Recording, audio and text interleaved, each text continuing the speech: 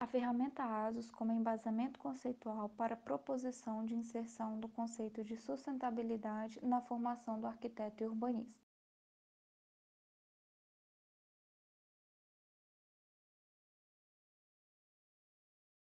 Considerando as novas necessidades das edificações e ambientes urbanos, bem como o distanciamento do tema nos currículos tradicionais do ensino de arquitetura e urbanismo, o objetivo dessa pesquisa foi a identificação das disciplinas potenciais para a inserção dos conceitos de sustentabilidade na grade curricular do curso de Arquitetura e Urbanismo das Faculdades Integradas de Aracruz.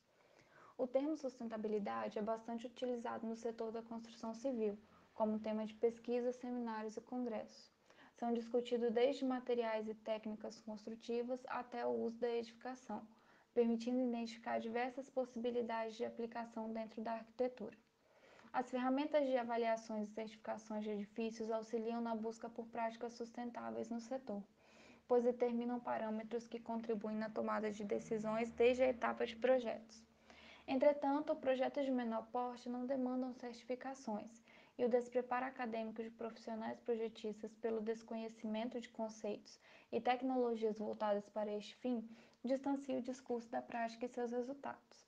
Essa pesquisa teve como motivação a identificação da necessidade de disciplinas voltadas ao que se chamou de ensino da sustentabilidade na graduação.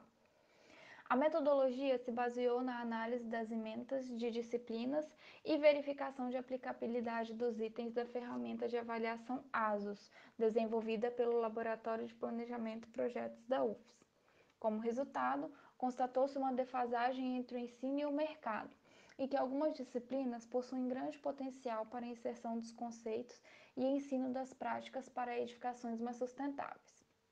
A partir das primeiras observações, verificou-se que a viabilidade da proposta passa pela reformulação cronológica e estrutural da grade curricular.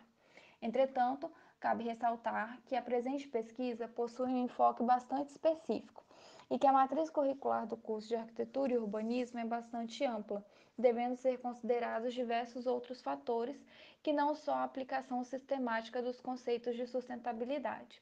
Essa pesquisa ainda leva à reflexão que o tema sustentabilidade precisa ser abordado de forma direta e clara em sala de aula, e não somente de forma genérica.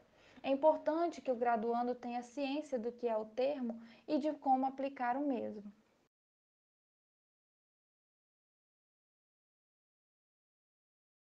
Obrigado pela atenção e tenham todos um excelente congresso.